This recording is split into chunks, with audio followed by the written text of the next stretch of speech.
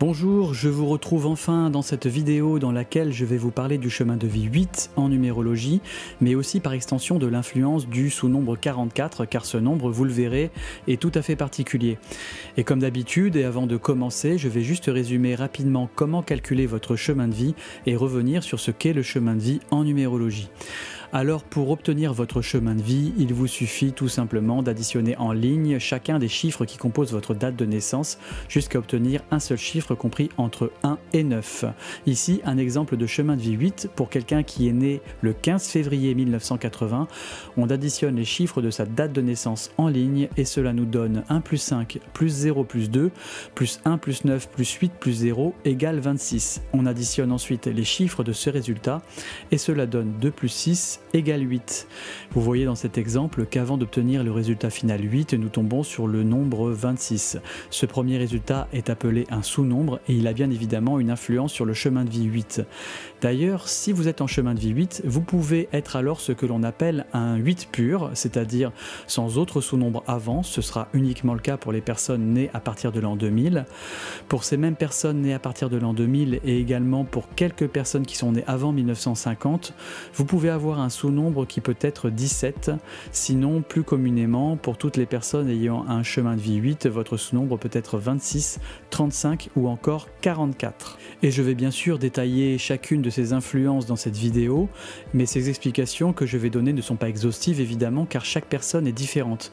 Mais j'espère que le décryptage que je vais vous proposer va vous permettre d'obtenir une meilleure compréhension de votre situation si vous êtes sur ce chemin de vie, et peut-être même de comprendre certains événements passés qui vous ont poussé en quelque sorte à expérimenter ce chemin plus avant. Alors le chemin de vie, qu'est-ce que c'est et qu'est-ce qu'il représente? Eh bien, vous pouvez voir cela un peu comme une route très large de possibilités, mais qui vous guide toujours vers un travail et l'expérimentation de l'énergie de votre chemin de vie et ici, en ce qui concerne cette présentation, c'est le 8. Gardez bien à l'esprit que le chemin de vie et la numérologie en général d'ailleurs ne décident pas.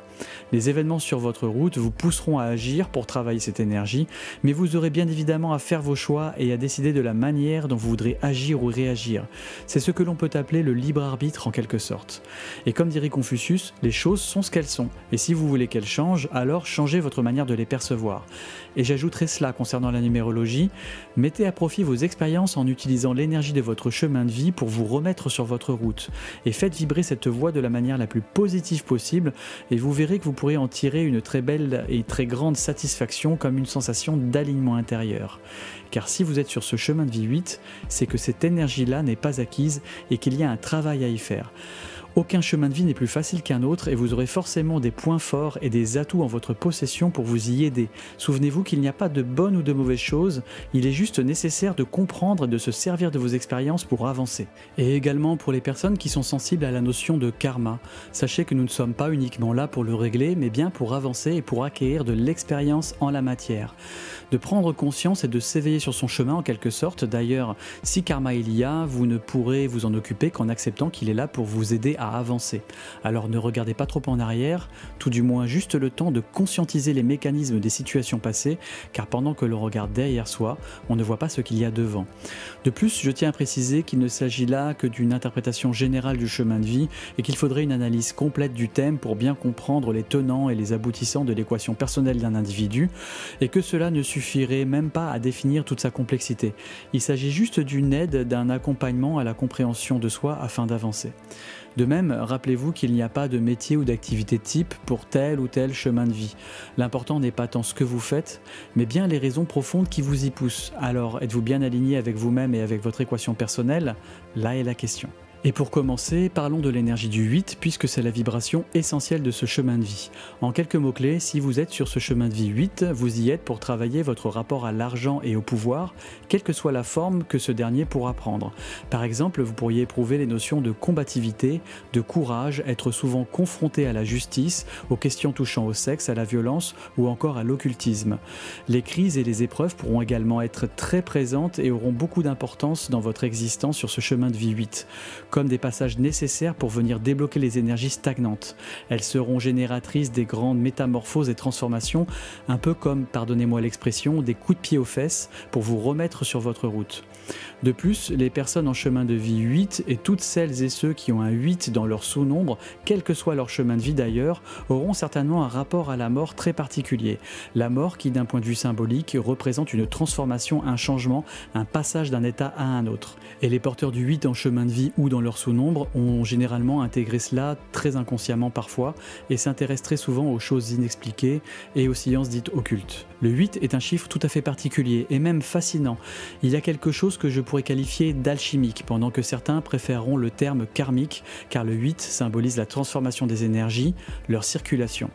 La notion de réincarnation d'ailleurs est très représentative de ce symbole, car le 8 c'est l'infini, le cycle continu. De plus, on a ici une réelle concordance entre la signification de ce 8 en numérologie avec l'astrologie. En effet, le signe du scorpion qui représente la maison 8, ainsi que les planètes associées à ce signes que sont Pluton et Mars ont une signification tout à fait en écho avec les mots-clés que j'ai évoqués tout à l'heure. Et comme je le disais également, celles et ceux qui sont d'un autre chemin de vie et qui ont un 8 dans leur sous-nombre seront aussi très imprégnés de cette énergie et plus que pour les autres chiffres d'ailleurs. En effet, si on continue le parallèle avec l'astrologie, le 8 est principalement associé à Pluton tandis que le 1 est en analogie avec Mars. Et vous l'aurez peut-être remarqué, mais tous les sous-nombres de chemin de vie comportent un 8 sont aussi en lien avec le 1. Ces chemins de vie sont le 18-9, le 28-1, le 38-11 et le 48-12-3. Étonnant, non? Et il y a aussi le premier sous-nombre du chemin de vie 8, c'est-à-dire le 17, qui reprend ce schéma-là.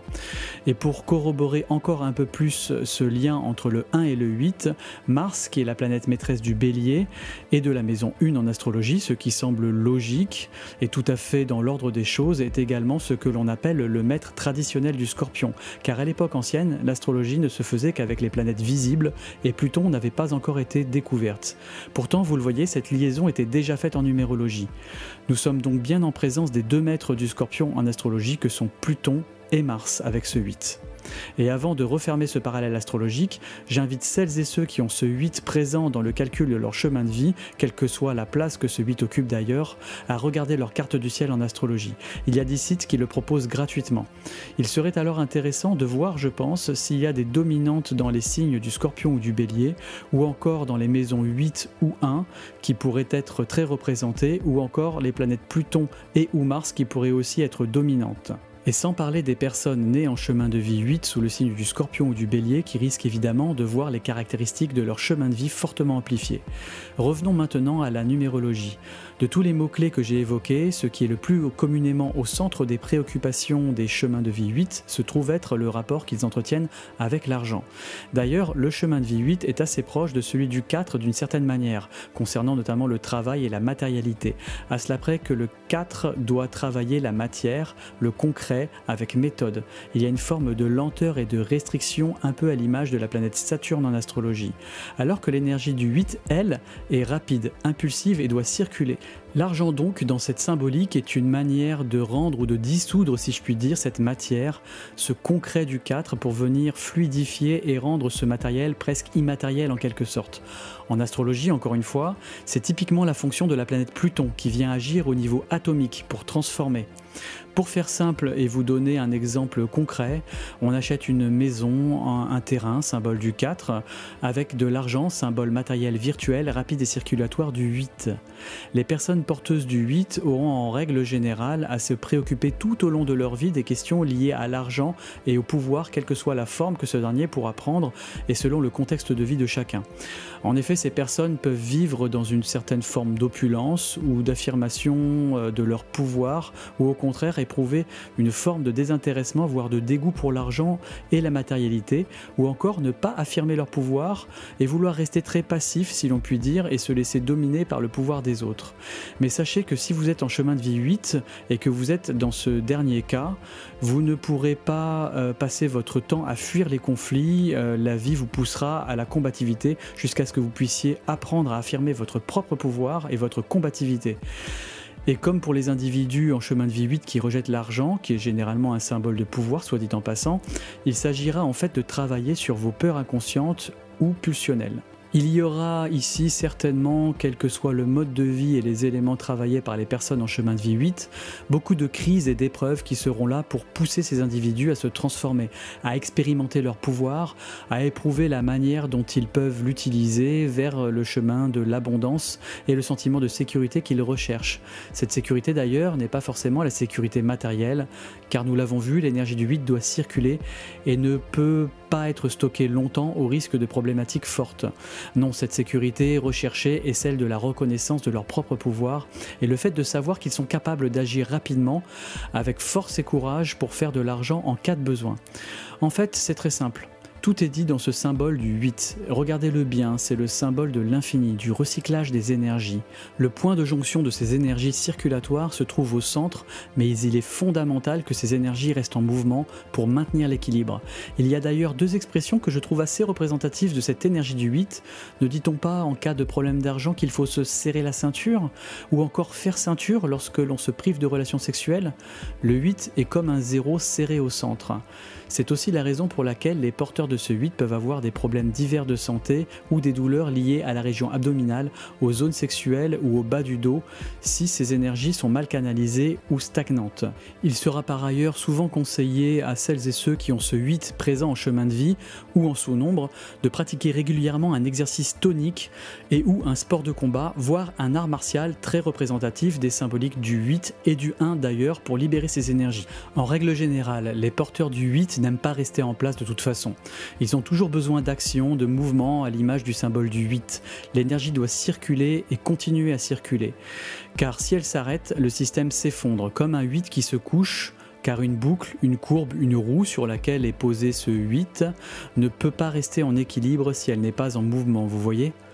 C'est pour cela que même les personnes en chemin de vie 8 qui sont déjà dans une position d'exercice du pouvoir ou qui possèdent une certaine fortune personnelle n'ont pas pour autant acquis ces sentiments d'abondance et de sécurité intérieure dont je parlais tout à l'heure. Ces questions de pouvoir et d'argent seront toujours omniprésentes. Il y aura toujours des luttes, des crises, des épreuves, de la combativité et de la jalousie autour de ces questions. La prise de conscience de ces individus doit souvent se faire au niveau de l'acceptation qu'ils ne possèdent rien car l'argent doit circuler il y aura alors certainement une notion de philanthropie à développer. Pour schématiser, il peut y avoir sur ce chemin de vie euh, une alternance de grandeur et décadence, de tout ou rien. Évidemment, lorsque les porteurs du 8 en chemin de vie euh, élèvent leur niveau de conscience et qu'ils se mettent à avoir une vision plus spirituelle de l'argent et du pouvoir, c'est-à-dire qu'ils se détachent des valeurs stagnantes et enfermantes de la possessivité, alors l'argent arrive. Ils se mettent comme par hasard à trouver facilement des finances pour accomplir leurs projets. Le pouvoir, c'est la même chose. Dès lors qu'ils permettent aux autres d'exercer leur pouvoir dans une forme mutuelle de respect, c'est-à-dire sans écraser les autres et sans se faire écraser par eux, ils deviennent alors des leaders naturels. Pour certains, il faudra commencer par abandonner les aspects agressifs, autoritaires ou plutôt autoritaristes, qui sont souvent en fait des effets de leur euh, peur inconsciente de ne pas savoir s'affirmer autrement et de ne pas pouvoir affirmer leur pouvoir autrement. A l'inverse, pour les porteurs du 8 qui seraient dans une passivité excessive, ils doivent apprendre à affirmer leur pouvoir. Et pour eux aussi, la vie sera jalonnée d'épreuves, de crises et de combats euh, qui pourront être physiques, moraux ou juridiques, et ceci afin d'éprouver leur combativité et leur courage, et ainsi leur faire prendre conscience de leur pouvoir et de leur force. Il faudra également faire attention à l'autosabotage, qui est en général une spécialité du 8 et est souvent le signe inconscient d'une peur de la réussite. Et pour finir avec les généralités du chemin de vie 8 et avant de passer à la description de l'influence des sous-nombres, faisons un rapide parallèle avec la lame de tarot correspondant au 8, à savoir la justice. Cette lame représente aussi bien une part de la symbolique du 6 que du 8. En effet, il y a ici une notion de choix, de préservation d'un équilibre pour le 6 qui est représenté par la balance, mais aussi les luttes et la nécessité de trancher symbolisée par le glaive pour ce qui est du 8. Cette notion de justice, vous l'aurez peut-être compris, conviendra donc certainement beaucoup mieux aux porteurs du chemin de vie 8 ayant le 26 comme sous-nombre. Mais nous y reviendrons tout à l'heure. Et vous pouvez voir également que cette circulation d'énergie du 8 dont je parlais tout à l'heure est aussi symbolisée par les plateaux de la balance. D'ailleurs, euh, en y regardant de plus près, le point d'équilibre n'est pas certain et les plateaux ne sont pas tout à fait égaux. Par conséquent, la balance penche légèrement. Cela symbolise bien le besoin de mouvement et la recherche de ce point de jonction des énergies de ce 8. Cette balance est tenue à la main et ne peut donc pas rester immobile. Elle ne peut qu'alterner d'un côté à l'autre même si ce n'est que par d'infimes mouvements. Et plus on rapprocherait les deux plateaux de cette balance, moins le débattement serait important et plus il serait rapide. Et si on colle ces plateaux l'un à l'autre, on obtient alors un 8 couché, symbole de l'infini. Et étant donné que le point d'équilibre deviendrait alors difficile à trouver, il serait donc nécessaire d'avoir un mouvement, une circulation de l'un à l'autre plateau, vous voyez? Dans un autre ordre d'idées, pour vous donner un exemple concret, vous pouvez imaginer un vélo. Les roues symboliseraient les deux boucles du 8. Si on monte euh, sur ce vélo et qu'il est à l'arrêt, il devient alors très difficile de garder l'équilibre. Cela devient beaucoup plus évident lorsqu'il roule et peut-être également que cela peut devenir un peu instable, voire carrément dangereux, s'il est à pleine vitesse dans une descente par exemple. Vous voyez, c'est exactement cela le défi du 8, ne pas s'arrêter et ne pas aller trop vite au risque de chuter. Commençons maintenant par décrire le premier sous-nombre qui permet d'obtenir un chemin de vie 8, à savoir le 17. Ceci ne va concerner que celles et ceux qui sont nés à partir de l'an 2000, comme par exemple euh, quelqu'un dont la date de naissance serait le 18 mai 2001. On additionnerait alors sa date de naissance en ligne et cela nous donnerait 1 plus 8 plus 0 plus 5 plus 2 plus 0 plus 0 plus 1 égale 17 et 1 plus 7 égale 8.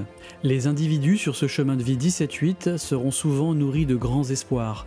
Ils éprouveront le besoin d'exister et de s'affirmer 1 au travers la concrétisation matérielle 8 de leurs rêves et de leurs idéaux 7. Pour rappeler ce que nous avons déjà vu sur les chemins de vie 1 et 7, ce chemin de vie 17-8 devra certainement passer par une quête d'identité 7 et un travail sur la confiance en soi 1. Il peut même euh, s'agir dans certains cas de crises existentielles profondes qui vont venir transformer et refaçonner la personnalité. Et cette affirmation de qui je suis passera souvent par quelque chose de très concret chez les porteurs de ce chemin de vie 17-8. De plus, la sexualité pourrait aussi être un moyen pour eux de prendre confiance en eux, en leur pouvoir, euh, également, le 7 étant le symbole de la spiritualité et de l'introspection et le 8 de l'occultisme, on peut alors facilement imaginer qu'il pourrait être question ici d'affirmer son pouvoir dans les domaines touchant à la vie après la mort par exemple.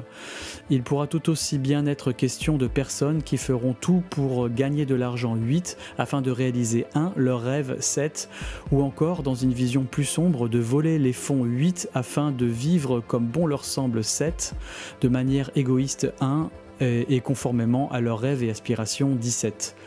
Il me semble intéressant ici de comparer ce 17 avec la lame de tarot qui lui correspond à savoir l'étoile. Laissez-moi vous faire un rapide condensé de quelques interprétations de ce que disent différents auteurs comme Alexandre Jodorowsky ou encore Georges Colliel de cette lame de tarot l'étoile afin de faire une liaison avec la numérologie. Cette lame 17, l'étoile, représente la libre circulation de la libido. Il conviendra de savoir ensuite que faire de cette énergie et comment la traiter. Elle représente donc de manière archétypale le désir. Quel est mon espoir? Quelle est ma place? À quoi est-ce que j'emploie mon énergie? Que puis-je donner? À qui et comment? Il peut y avoir des difficultés à entendre sa vraie nature et à la suivre. Dans ce cas, il y a rétention de l'énergie vitale qui ne s'écoule plus librement. Cela peut conduire à des malaises ou des maladies physiques ou même psychiques. Il peut y avoir également l'impossibilité pour l'individu de se montrer tel qu'il est, par exemple, par rapport à un complexe physique ou à un handicap dont l'individu peut éprouver une honte. Et si nous revenons maintenant à un aspect plus numérologique de ce 17-8, nous avons donc le 1 qui pousse au travail sur l'indépendance, l'ego, et qui peut donner un côté pionnier ou plus simplement leader. Ce 1 est appuyé par le courage et la combativité du 8, ainsi que sa capacité à faire de l'argent. Et avec le 7, symbole du mental et de l'inspiration, on peut imaginer des profils d'énergie très extrêmes. Par exemple, quelqu'un qui réalise et concrétise 8 une idée, une inspiration 7 créative et novatrice 1, un chef d'entreprise par exemple qui partirait de rien mais qui ferait confiance en ses idées hautement inspirées et créatives.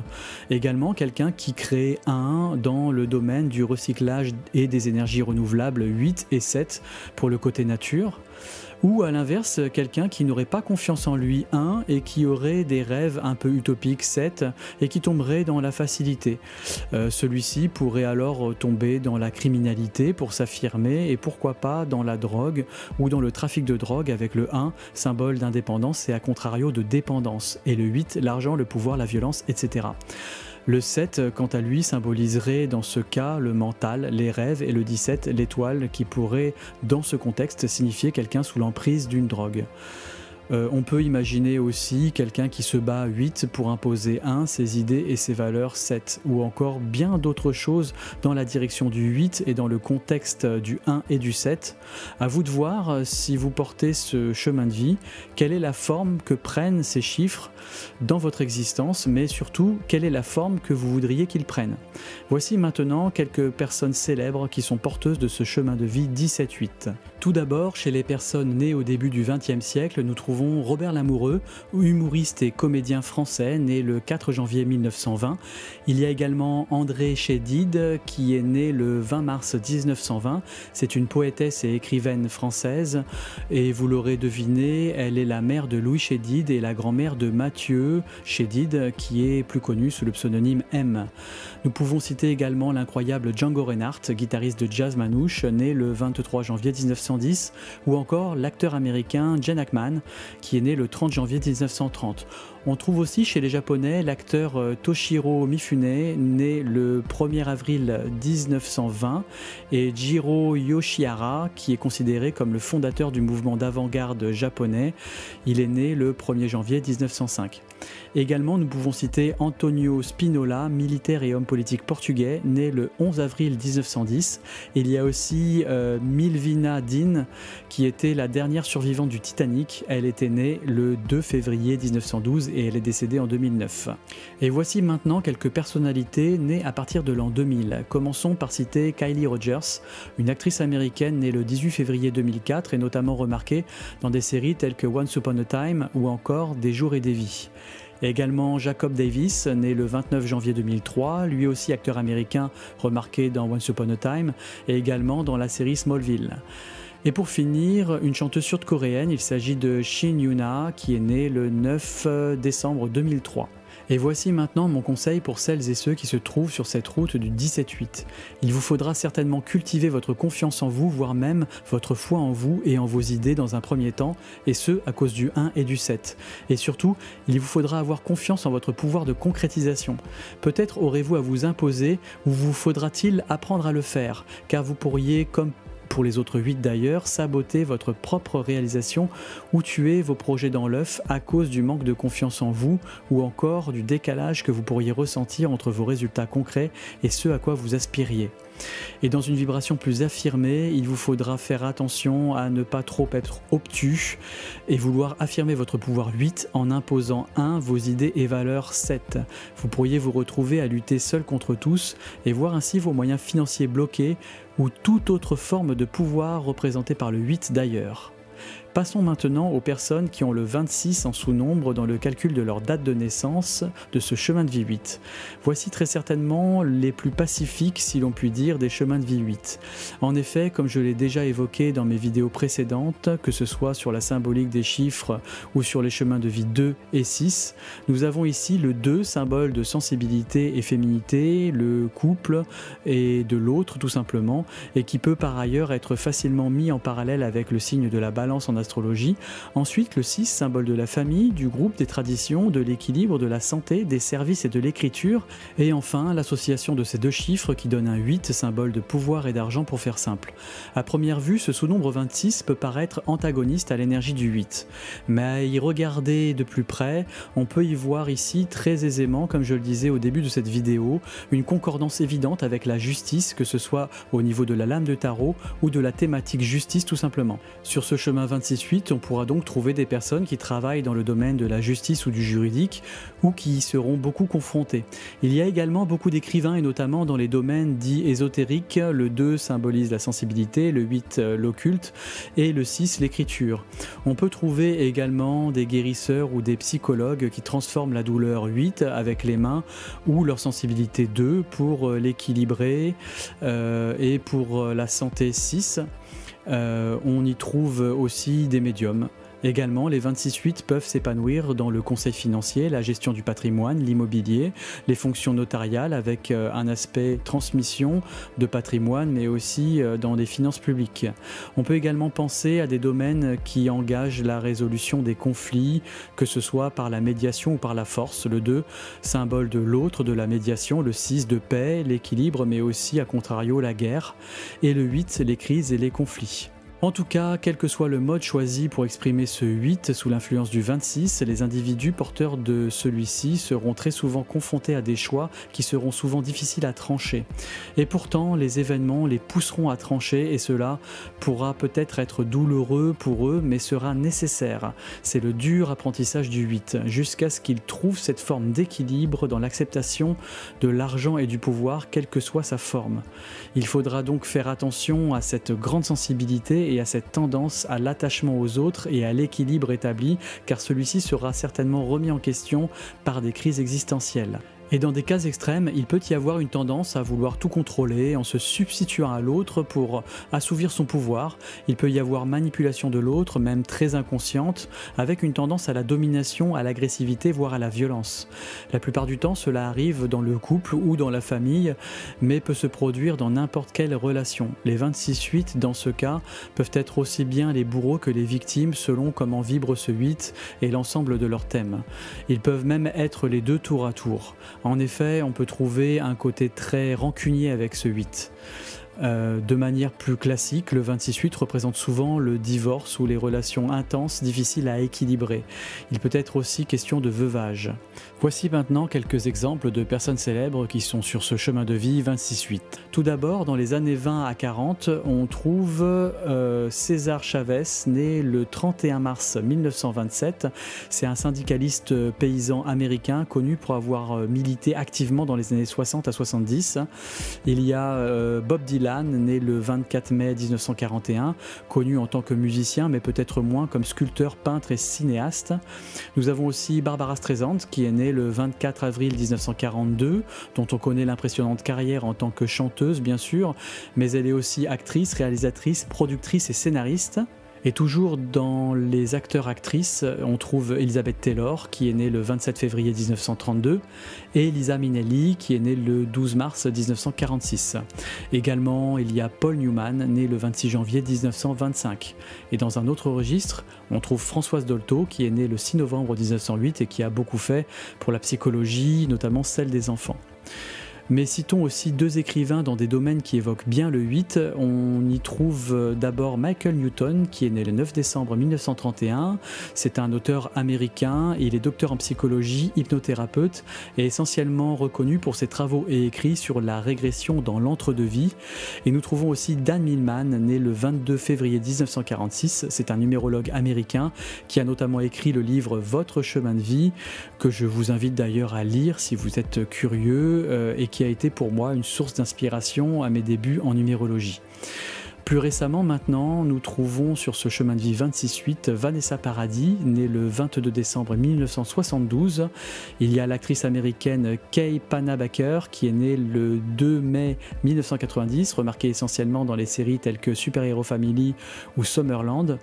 Il y a le chanteur français Vianney qui est né le 13 février 1991 et aussi le footballeur Antoine Griezmann qui est né le 21 mars 1991. Et nous trouvons également les actrices Daisy Ridley, remarquée essentiellement dans le rôle de Rey dans Star Wars. Elle est née le 10 avril 1992, et Jessica Biel, née le 3 mars 1982, que l'on peut voir dans divers films tels que L'Agence Tourisque ou encore le remake de Total Recall en 2012. Et voici mon conseil pour celles et ceux qui sont sur ce chemin de vie 26-8. À vous, plus que pour les autres 8, il vous faudra travailler vos facultés de discernement, d'équilibre et de justice. Vous devrez probablement apprendre à doser, à partager le pouvoir et ou l'argent. Une des plus grandes leçons de votre vie pourra être de prendre conscience que le pouvoir que vous exercez ne vous appartient pas, mais qu'il fait partie d'un système et ce pouvoir ou cet argent que vous devez exercer ou gérer doit vous servir à maintenir l'équilibre de ce système et non de le contrôler. Parlons maintenant des personnes qui obtiennent un sous-nombre 35 dans le calcul de leur date de naissance. Voici très certainement les plus impulsifs des chemins de vie 8. En effet, ici nous trouvons deux chiffres de mouvement que sont le 3 et le 5 et aussi le 8, au final qui est le synonyme de vitesse et de circulation. C'est peut-être aussi le chemin de vie 8 qui alternera le plus la notion de tout ou rien. Si ce 8 est épanoui dans ce qu'il fait et qu'il se sent libre, influence du 5, alors tout ira bien. L'argent ou le pouvoir qu'ils exercent euh, pourra circuler librement et être présent en cas de besoin. Si par contre le porteur de ce chemin de vie 35-8 agit de manière trop impulsive et qu'il manque de créativité dans son activité ou encore qu'il confond liberté et fuite, symbolisée par le 5 toujours, alors l'argent et le pouvoir lui glisseront des doigts ou de la bouche car le 3 est synonyme de parole. Les 35-8 devront donc apprendre à ne pas parler trop vite car euh, il peut être question ici de colère et ou de sabotage de son pouvoir en parole. Il peut être question aussi d'orateur 3 qui défendent la liberté 5 ou qui l'attaquent selon comment il décide de faire vibrer ce 8. Il peut y avoir aussi avec l'influence du 3 et du 5 un besoin d'exprimer sa créativité et ou d'exalter ses sens et ses sensations. On trouve souvent une notion de plaisir sous cette configuration là. Ce serait typiquement par exemple le cas d'un cuisinier, d'un viticulteur, d'un animateur de fête ou d'un commerçant ou artisan qui œuvre dans un milieu touchant à la sensorialité et peut-être même à quelque chose de luxueux. On pourrait également être très attiré par tout ce qui est en mouvement ou qui va vite. La mécanique, le sport automobile par exemple, le vélo, la chute libre et tout ce qui pourrait procurer des sensations extrêmes et représenter potentiellement et de manière symbolique un danger de mort. C'est comme si les 35-8 devaient en quelque sorte stimuler en permanence cette énergie de 8 pour la renouveler continuellement, comme une batterie ou une pile qui pourrait surchauffer si elle continuait à charger alors qu'elle est pleine. Dans un autre ordre d'idées, avec le 5, le changement, le 3, les idées, la communication et le 8, l'argent et le pouvoir, on peut tout à fait imaginer des personnes porteuses de ce 35-8 s'intéresser à la bourse, au mouvement d'argent. Également, le milieu publicitaire pourrait être pour ces personnes une source de revenus. Enfin, du point de vue de la façon d'être, il y a souvent chez ces personnes un esprit jeune, voire limite éternel adolescent, si on peut dire. Cela peut être positif du point de vue du dynamisme et de l'esprit d'entreprise, mais attention, car du point de vue d'un partenaire, euh, qu'il soit sentimental ou professionnel, vous pourriez paraître instable et donc euh, générer des méfiances, voire des tensions vis-à-vis de ceux ou de ses partenaires. Et voici maintenant quelques exemples de personnalités qui ont ce chemin de vie 8 issu de ce sous-nombre 35. Et dans l'ordre chronologique, cette fois, on trouve Nelson Mandela, né le 18 juillet 1918, et Aung San Suu Kyi, qui est né le 19 juin 1945. Il y a le catcheur et acteur américain David Bautista, plus connu sous le pseudonyme Batista. Il est né le 18 janvier 1969. On trouve ensuite Kate Blanchett, l'actrice et metteuse en scène australienne, notamment remarquée dans la trilogie du Seigneur des Anneaux dans le rôle de Galadriel. Elle est née le 14 mai 1969. On peut citer aussi Cyril Hanouna, né le 23 septembre 1974, bien connu sur la télé française en tant que présentateur et producteur. Toujours chez les Français, il y a le tennisman Joe Wilfried Songa qui est né le 17 euh, avril 1985 et nous trouvons ensuite les jumeaux Jimmy et Jay Uso qui sont nés le 22 août 1985. Ce sont des catcheurs bien connus de la télé américaine. Citons également Sébastien Vettel, coureur automobile français, né le 3 juillet 1987. Et enfin, pour clore cette liste, deux jeunes actrices américaines. Dans l'ordre, on trouve d'abord Isabelle Furman, née le 25 février 1997. Elle apparaît notamment dans les films tels qu'Exter, euh, Hunger Game ou encore Escape Game 2. Ensuite, il y a Kylie Jenner qui est née le 10 août 1997. Elle est également mannequin et connue essentiellement en télé-réalité car elle est la demi-sœur de Kim Kardashian. Voici maintenant mon conseil pour vous qui êtes en chemin de vie 35-8. Essayez de prendre un peu de temps pour réfléchir avant de précipiter les décisions ou les investissements importants. Il y a une différence entre ralentir et s'arrêter. Vous avez de la marge, car à vouloir remettre en question les situations de manière trop abrupte, vous pouvez en fait euh, n'opérer qu'un sabotage de votre pouvoir et perdre gros. À vous de voir quand les pulsions de remise en question se font ressentir. Comment vous voudriez les canaliser afin de les temporiser? Vous pourriez ainsi prendre de meilleures décisions euh, qui vous mèneront vers la route de l'abondance et non de la banqueroute. Vous pourrez également de ce fait paraître plus stable et plus fiable vis-à-vis -vis de votre entourage et de vos partenaires. Et nous voici enfin arrivés au chemin de vie 44-8. C'est une vibration assez rare en fait, compte tenu de la restriction des dates de naissance existantes pour donner un tel nombre.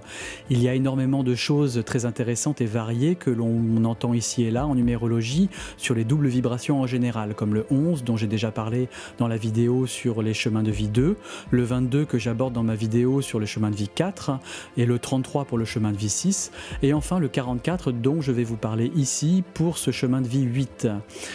Je vais tenter de recentrer les explications sur ce nombre car il faudrait presque un livre entier pour parler de ces énergies liées aux doubles vibrations en général.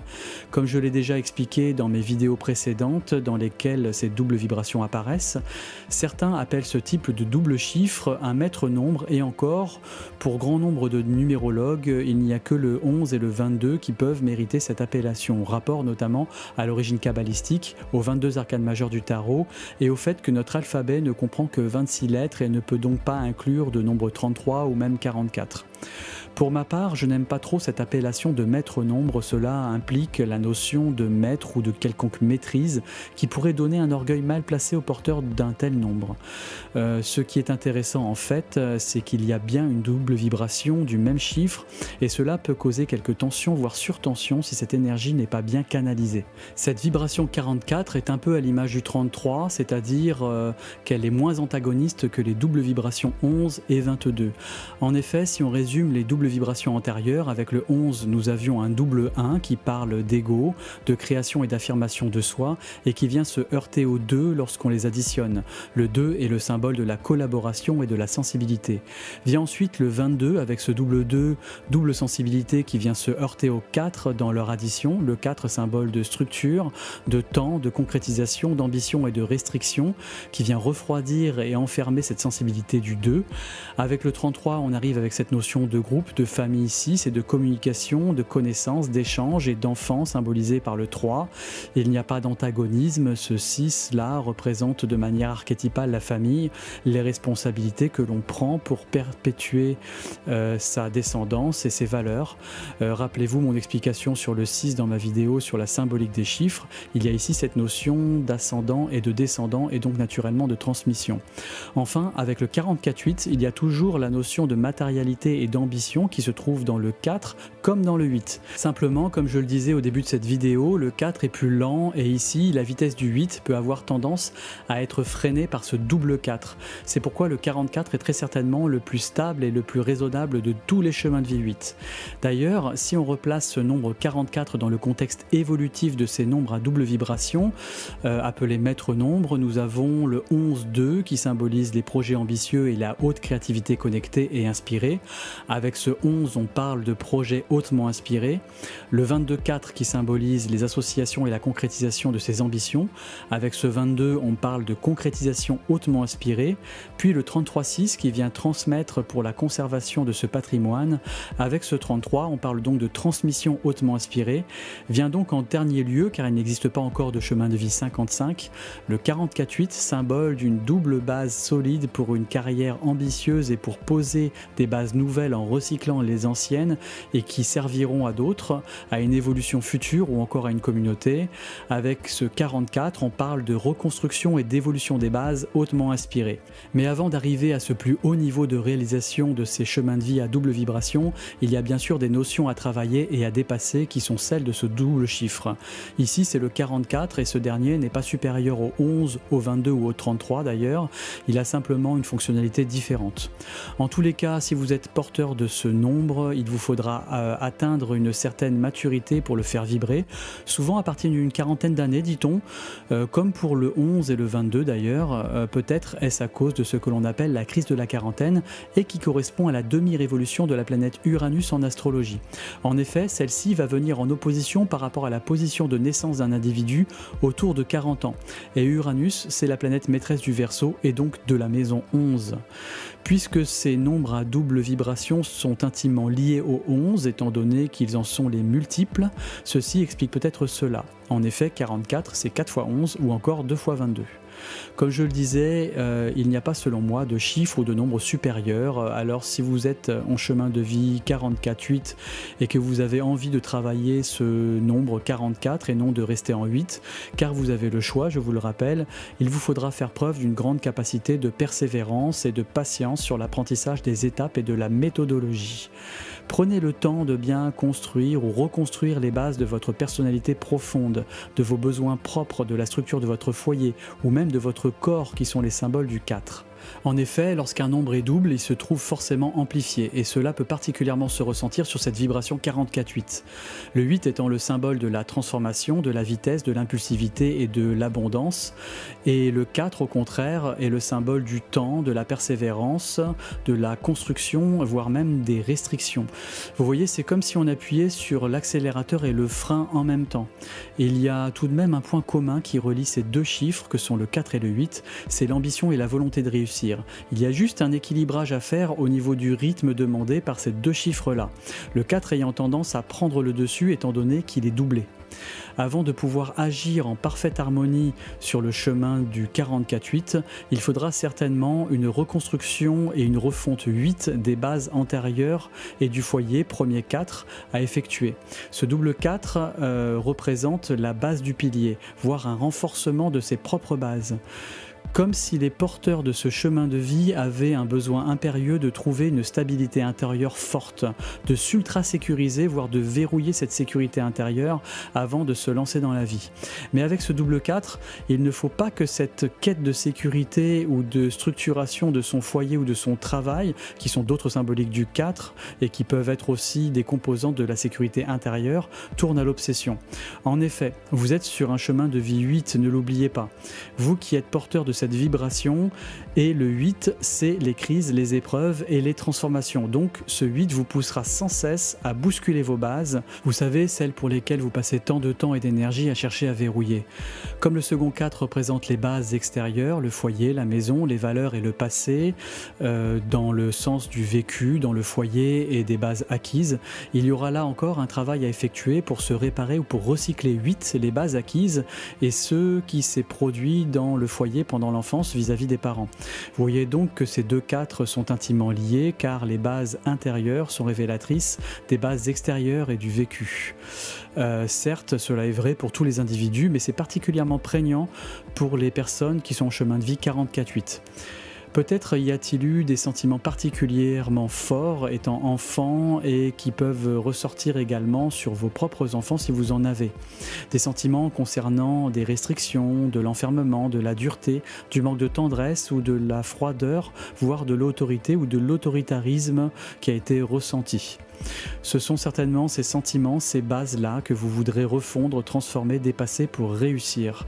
Cela nécessitera d'un point de vue pratique euh, que vous vous efforciez à régler les questions restées en suspens avec vos parents, d'exprimer vos émotions, bonnes ou mauvaises, et de crever l'abcès pour vous libérer. Certes, cela semble plus facile à dire qu'à faire, mais vous voulez reconstruire euh, des bases nouvelles et saines sur ce chemin de l'abondance intérieure et extérieure. Euh, alors il vous faudra tuer symboliquement les fondations qui menacent de s'effondrer, les raser pour reconstruire avec des matériaux neufs et en tout cas ceux de votre choix. C'est comme dans le bâtiment, si vous faites euh, du cache-misère euh, pour faire beau, les problèmes de base ne sont pas euh, réglés et donc vont s'amplifier à l'abri des regards. Et lorsqu'ils vont apparaître de nouveau, alors il y aura urgence de s'en occuper.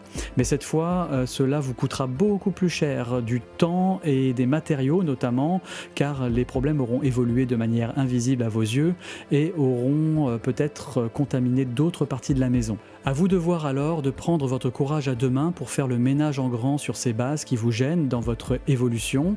Et cela tombe bien car le 8, votre chemin de vie, c'est justement cette notion de courage et de combativité que vous devez expérimenter.